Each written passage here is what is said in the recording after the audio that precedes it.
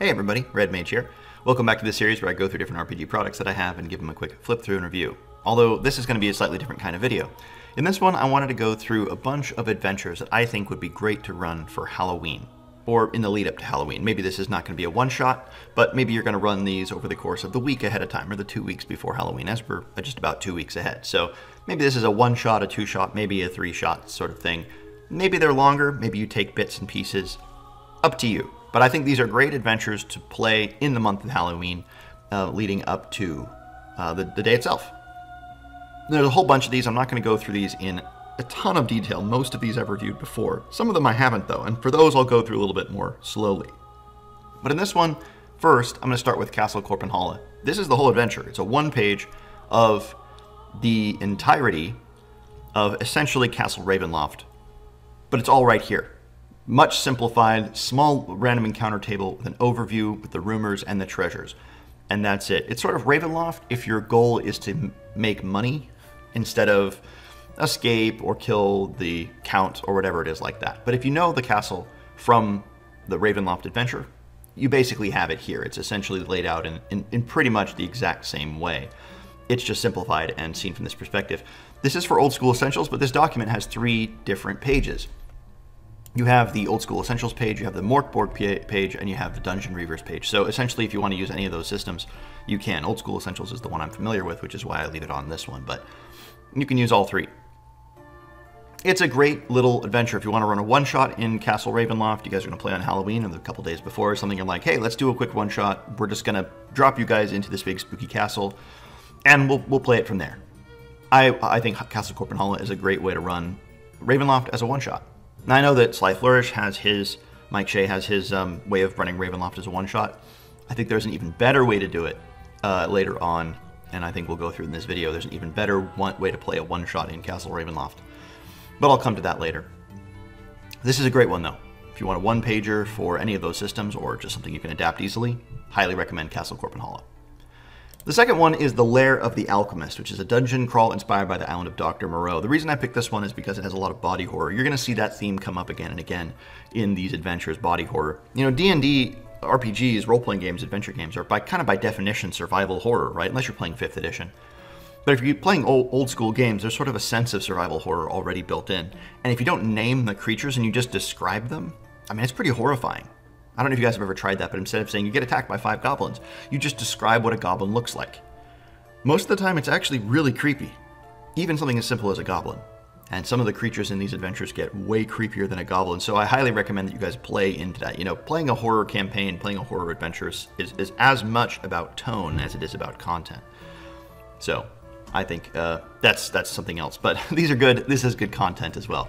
Essentially, it's just a small dungeon crawl. You're going through, trying to get some treasure, trying to deal with the creatures in here. The tone isn't overtly horror, but it is that sort of body horror that we get from something like the Island of Dr. Moreau. I think it's quite good.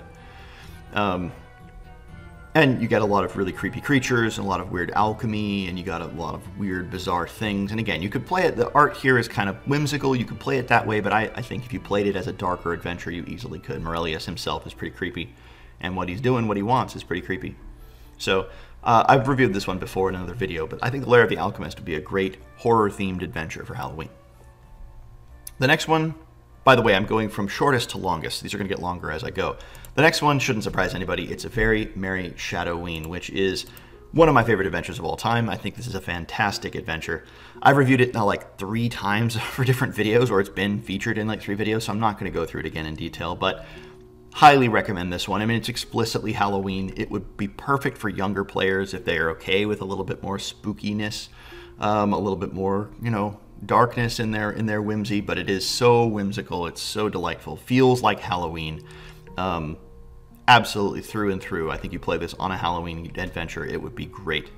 By the way, shout out to one of my subscribers who recommended um, that I do this video. I forget his name at the moment, but he said, hey, you should do a video with a bunch of um, Halloween themed adventures for us. So I think that's a great idea. Thank you for the idea.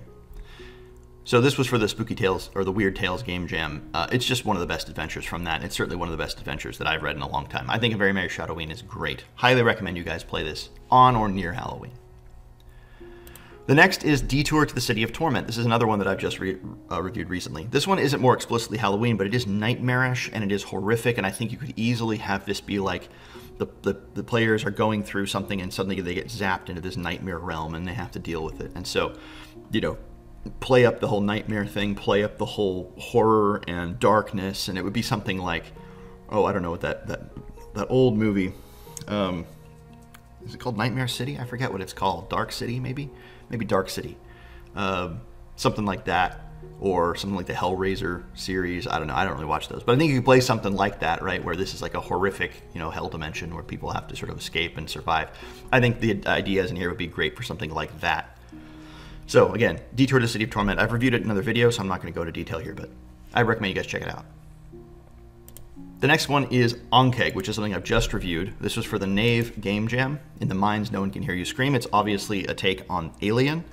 It's really, really good. It's, again, body horror. It has that um, self-aware quality. It knows it's just leaning into Alien. I mean, the characters are just taken straight out of it. You have Jonesy, you have Lizard instead of Newt, you have Wayland, who's the clay golem, um, the Brain Flare Nemo Fox instead of Necromorph. It's uh, it's a it's a it's a Mind Flayer Ankheg blend. Uh, really, really cool. Uh, really, really cool. And you're going through a mine. There's a whole bunch of horrible, horrifying things down here. You're going to have a lot of gruesome descriptions to your players, but it's also more aliens in that you're going down and hacking creatures, right? So it starts off alien, it goes into aliens. Maybe it's both. Plays up that horror side of things. So I would say it's much more, instead of being like one of these things hunting you, it's a whole bunch. So in that sense, it's more like aliens than alien. But it has a lot of the callbacks. It has a lot of that tone, which you're looking for. So I think this would be very spooky. If you play it upright and you, you lean into the descriptions, very evocative, I think this would be a great adventure. So Ankheg, I highly recommend you guys check out this one as well. Really, really good. And again, I've reviewed it just recently, so I'm not going to go through it again. Highly recommend that one. The next one is not something I have reviewed. It's the Toymancer's Folly. This one is really creepy. It's like Chucky, right? I mean, you're playing with creepy cursed dolls. You're playing with uh, horrifying things like that, and of course, that's that's right up in the Halloween um, world. Um, essentially, this is again not one I've reviewed recently, but you can go check out Questing Beast review of it. He just did it a couple days ago. He talked about this one in detail. I think it's one of his favorites from the game jam. I can see why. It's a horror module, as it says here in the beginning.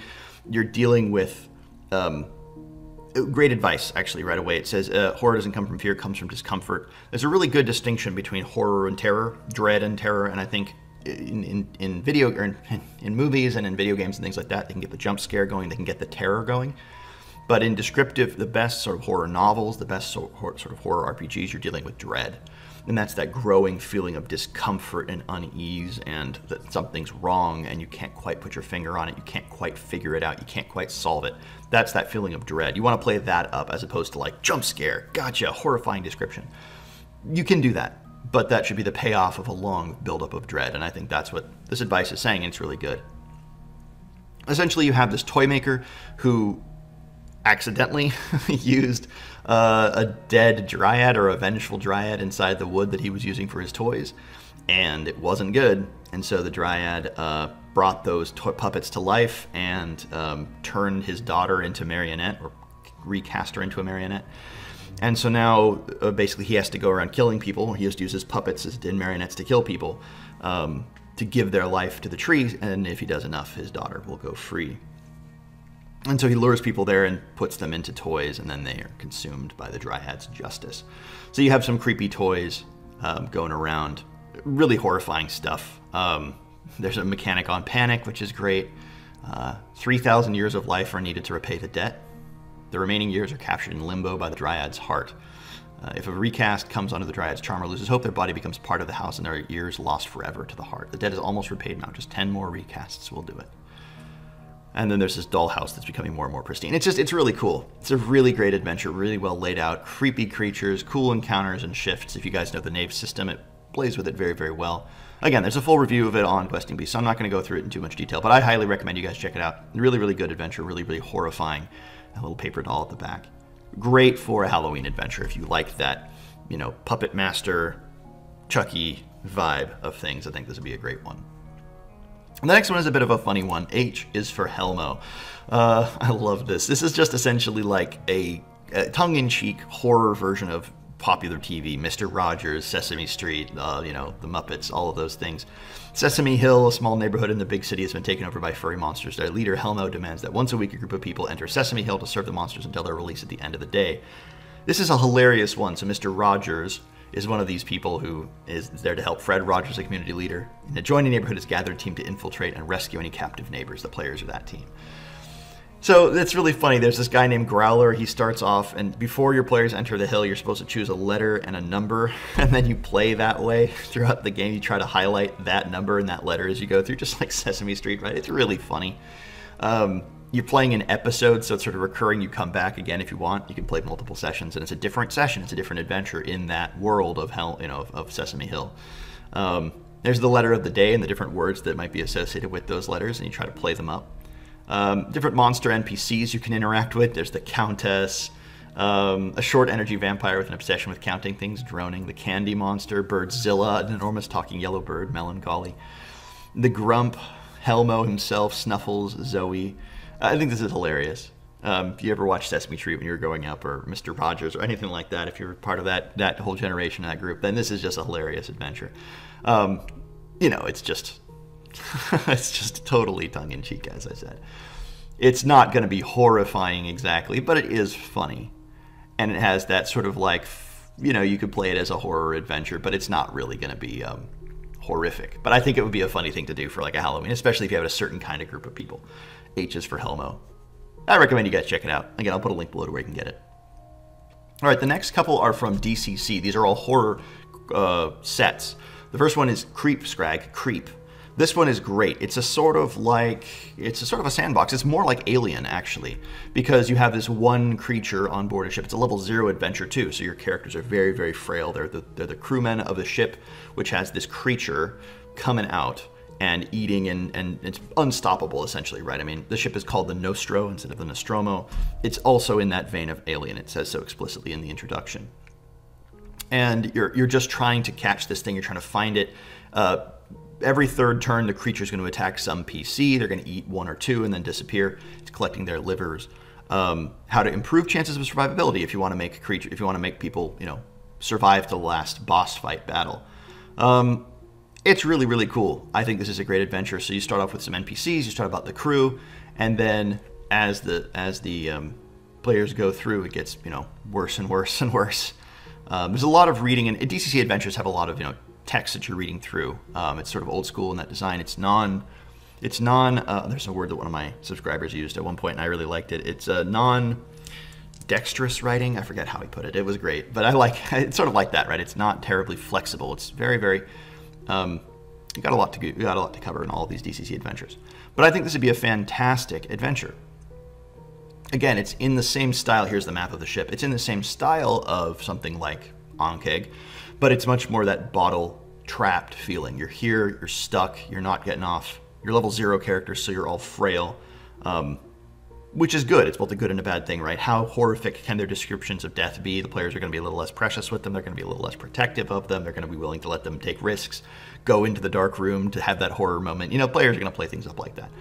So I think this is a great adventure for that reason. Highly recommend you guys check out Creep Skrag Creep. Um, really good adventure. So it's a level zero funnel. I always like funnels too, and this is a good one. Um, this is good for you know outside of Halloween, but I think especially in Halloween, it's a great one. Okay, we still got some more guys. As I said, there's a whole bunch of adventures here, but we're trying to trying to go through them pretty quick. The next one is going to be the Sinister Sutures of the Sempstress. Sempstress.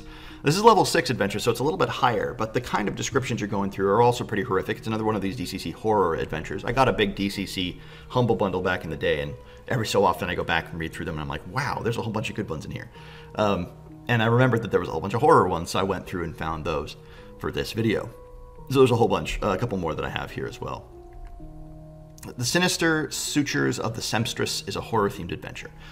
The House of Tattered Remnants there's this thing that's born from mankind's subconscious fear, fashioning herself whole cloth from the terrors and phobias of a hundred cultures. She is the mother of horrors. Uh, so this is a really horrifying thing, right? She has this. Uh, um, she's going to break free. You got to stop her. She has a dimensional cocoon, which is the house of tattered remnants. Um, any patchwork stalker can create a doorway between the house of tattered remnants and the physical world once per night. So there's this way of getting in there. There's the unraveling that's trying to bring about um, the patchwork nature offends the eye and breaks people down, makes them go crazy. It's sort of like a um, it's sort of like a uh, H.P. Lovecraft, not quite a sanity system, but this sort of stuff goes as you go crazy, as time breaks down, as you break down. You have these physical manifestations which starts to go crazy, and I think that's pretty cool. Um, how to start, how to get into the House of Tattered Remnants, the realm of the Sempstress and what it's like, the Spuppeteers, um, looking at what happens if you look outside, right? And there's some great descriptions here. So there's this house, it's adrift in the multiverse, but what happens if you look out? You get some, like, you know, Lovecraftian descriptions. A city of non Euclidean geometry, fashioned from cyclopean stone blocks hoary with age. Black winged forms flutter in the skies above it. An endless cemetery where titanic maggots swallow swaths of graveyard earth in a single gargantuan bites. The cathedral like stomach and intestines of a dead, rotting god. A grim landscape filled with gibbets, gallows, plague pits, and shambling forms that feed on carrion.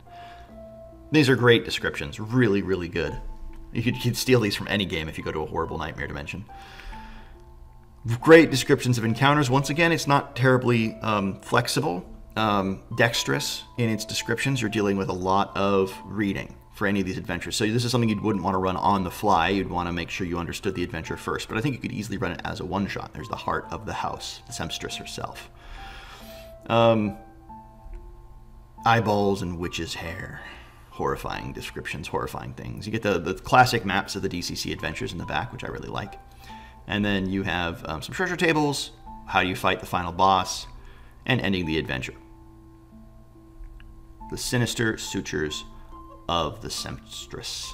Sempstress, that's a hard word for me to say. But it's a great adventure. Dungeon Crawl Classics. If you guys haven't seen this one before, I highly recommend you check it out. The Corpse That Love Built. this is another one. This is essentially uh, Frankenstein or the Bride of Frankenstein or something like that. It's playing on that uh, idea. Now, I didn't I didn't include uh, Professor Dungeon Master's take on Frankenstein, but I think you guys could easily run that too. That's a great horror themed adventure. I, I, recommend checking that out. He he has uh, videos on it on his channel, so um, you guys should check that out too. But but this is a you know a DCC take on this whole idea of of Dr. Frankenstein and all that. It's what you might expect, right? Geisterblut. um, so it's not terribly surprising. It's a it's a combat game. You're going through. You're trying to you know get to him and destroy him and the, and the monster, the beast.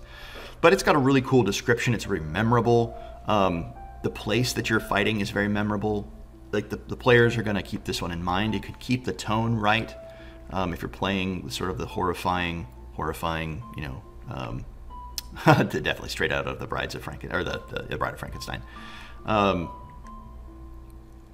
you'd have to keep the tone right, right? It might be easy to mess, mess this up, but it's got a great description of this colossus you're going into, going up and down into the lab and going up to the, the, the, the light and the hand. Like, it's a really cool, really cool adventure in a lot of ways. Um, lots of gross descriptions, lots of creepy descriptions, and it's a DCC adventure, so it's lots of fun literal levers to pull and some not so literal levers to pull. Um, just some really engaging stuff in this adventure. And again, uh, if you haven't ever checked out DCC Adventures generally, you should do that. But this one in particular is a great one, and it would be good for Halloween. Again, it's it's sort of um, it's sort of like I don't know how to put it exactly. It's not going to be like the most terrifying adventure. It's going to be gruesome. It's going to maybe unsettle some people, but you're dealing with Frankenstein and that sort of whole idea of Frankenstein's monster, and so you're, you're you know you, you know what you're getting into. And players tend to know once they realize what's going on, they're going to go, oh yeah, okay, and they get into that mindset. Um, it's not going to be as undermining, perhaps, as some of these other adventures. The next one is It Consumes, which is basically a take on that old movie, The Stuff, where the players, where the creatures, um, this thing from space, uh, becomes like the food of the village, and people start, or the, uh, the town people stop eating it. Uh, in fact, this the, the, it's called the stufa. That's the uh, the stuff that people are eating, uh, tasting the stufa. And then there's the stufi, or the people who are who are eating it and becoming warped and mutated and changed and what happens you know to them they start to yeah they start to mutate and, and become horrifying. Basically there's this mining colony that found a vein of ore. They found this bubbly creamy stuff substance and as curiosity would have it they tasted it and found it was sweet and addictive and so it starts to spread.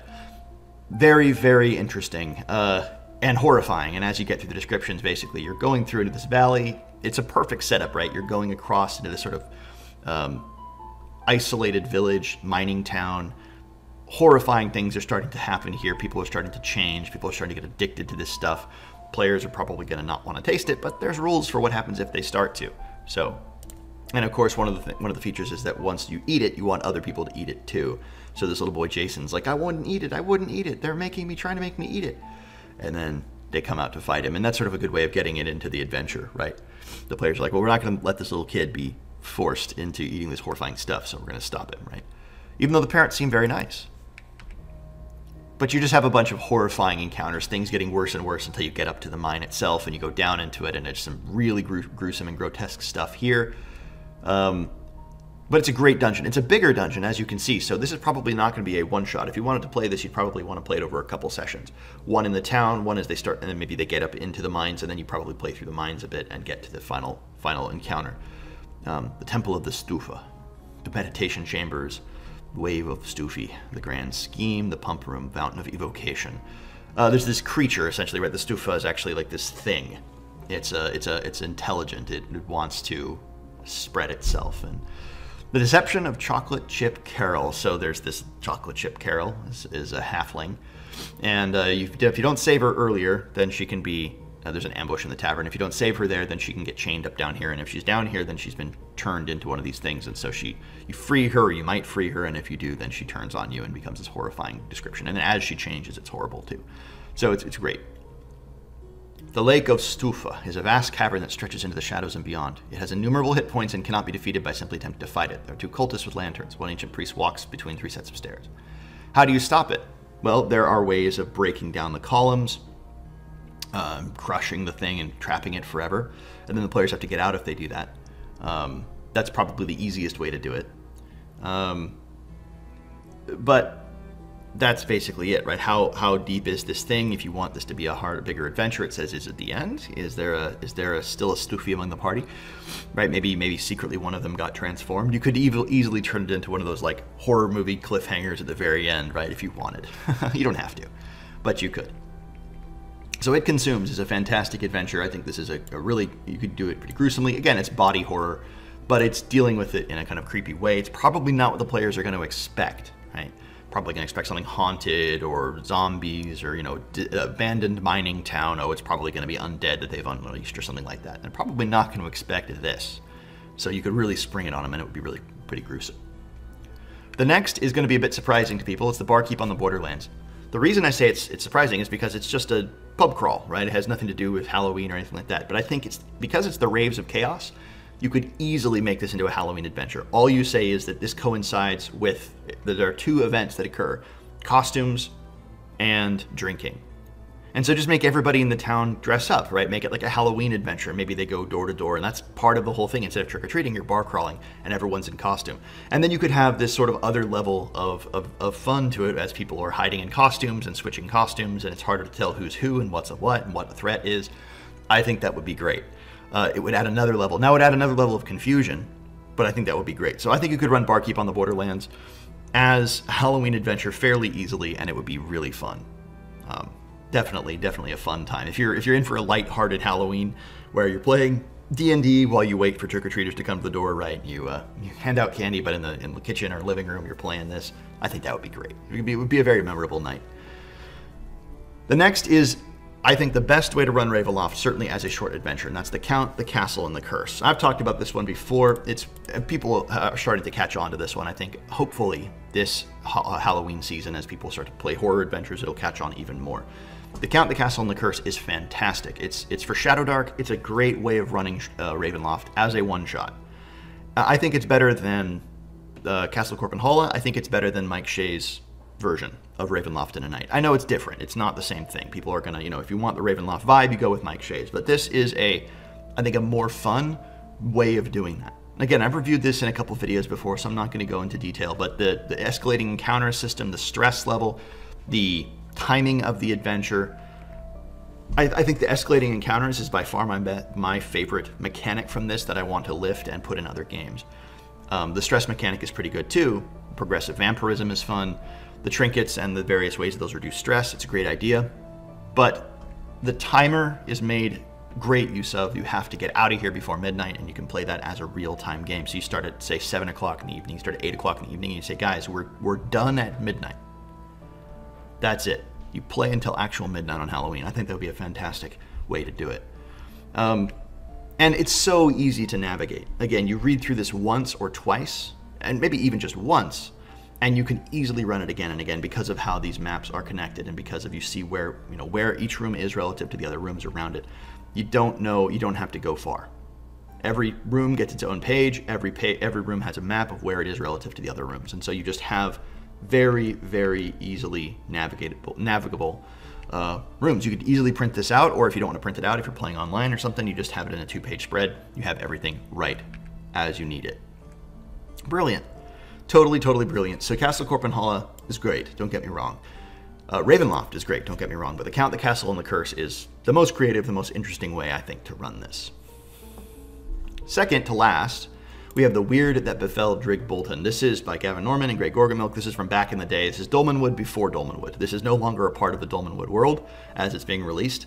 And I'm glad of that because this doesn't feel like Dolmenwood at all to me. This feels like something out of left field. It doesn't feel like that fairy tale world. Um, in fact, it's not even really in Dolmenwood. It takes place north of Dolmenwood out in the plains. It's essentially like that stuff adventure it consumes. Essentially, there's this meteor that crashed down into this city and there was this red goop and people have started to eat it and it, they think it's a gift they think it's delicious and it's but it's actually sort of transforming them into the organs basically of this star metal meteor creature that has crashed into the world and it's mutating the world it's changing everything. Um, and so you're going through this village trying to discover it's very lovecraftian it's very um, you know the color out of space it's very the stuff so that's what you're dealing with. You're dealing with these horrific in transformations, weird, bizarre transformations because it affects things differently. Um, it affects living material, non-living material. It affects animals and people. Uh, it's just really, really bizarre. If you happen to have this one already, um, I think you could be you'd be you could do worse than running it for Halloween. I don't think I will.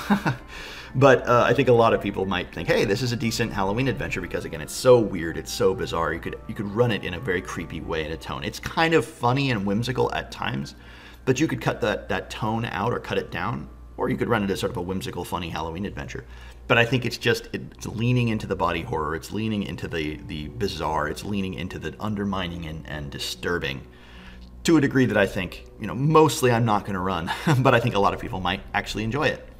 So it's got you know, these horrible creatures, it's got all of this stuff going on. So again, you can check out The Weird That Befell Drake Bolton. As I said, I'm really glad that this is no longer in the Dolmenwood world. It just doesn't make any sense to me as a, a tonal fit. It doesn't fit at all. Um, but as, an, as a separate kind of adventure, I think it has its place.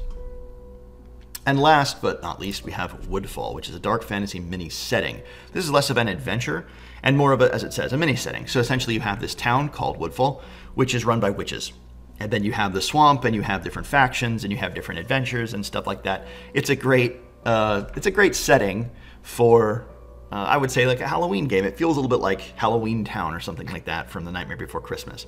Um, it's it's kind of bizarre. It's kind of you know there's these weird creatures that are there. They're not um, uh, they're not uh, normal, right? You're leaving the kingdom, entering self-governed witch territory. I think again, if you put this as like a, a sub-plane, a Halloween plane, um, make it Chris, make it Halloween Town, right? I think it would make total sense. It's a, it's a town run by witches, but there are, are lots of monsters who have made their homes here. It's in a swamp. There are these really funny buildings, and uh, I think again you could play it as sort of like a weird nightmare adventure where players are like, wait, how did we end up here? And you're in this weird other dimensional. Everything's kind of dark and shifted and and witchy. Uh, and there are funny things like mask shops you can get different masks that each do different things. You can get hats, and the hats do different things. Um, you know, witches' hats and witches, witches things like that. There's there's a thieves guild in town, a spell sharing society, potions. Um, I think Questing Beast has done a full review of this one too, so I'm not going to go into it too much. But it, it's a great, great idea. There's a whole list of NPCs. It gets a whole setting, so you can we could run an adventure here for a one shot, or you could play a few games here if you wanted. There's a whole region to have adventures in with the different factions, different relationships in those factions. Um, lots of creepy things out in the woods, lots of fun things out in the woods, a goblin punk fortress out there, uh, the Spike clan of goblins. the Lonely Troll, who's kind of nice. He's not actually, or not, not, actually too bad. Frogmen, the Revolutionary Corps Council, the communists. Uh, that's really, really funny. Um, brother number one, Rotsky, Steel Grem- Gremlin, the Throne Man, and Vlad. Oh, that's so funny. Uh, the Bog Witches, Cult of the Stag. Anyway, you got a whole bunch of cool stuff in here, and uh, I think it'd be a fun little little setting to run for Halloween. All right, guys, well, that's about a whole bunch of different adventures and settings and, and ideas and places of inspiration. I think you could run any number of fun things with these. Now, this is just obviously, there are tons and tons of horror adventures out there, and almost any D&D adventure can be made into a horror adventure with the proper tone. Because again, like we're dealing with these horrific nightmarish monsters in any campaign. Um, even a dragon, if you think about it, is pretty horrific. So you could easily run any adventure as a horror theme adventure if you run it with a certain tone. But if you're looking for outside the box, a little bit more strange, a little bit less expected, you know, not the usual horror adventures that you're looking for. I think these are the ones to look at. Uh, amongst many others. Don't this is not an ex exhaustive list, but these are the ones that stood out to me when I went through the adventures that I have. If you guys can think of any more, please share them in the comments because I think that'd be really helpful. I know I usually don't say, you know, I try not to say share stuff in the comments because I hate that. But I, I actually do mean it for this video because I think it'd be great to have suggestions for people who want to run Halloween adventures. So if you do have one that people can look at, put it in the comments below. Uh, it may be very, very helpful. All right, guys. Well, hope this has been interesting. Uh, happy Halloween to everybody who's going to be celebrating it and having some fun and spooky, uh, spooky adventures on it. And I'll see you all in another video.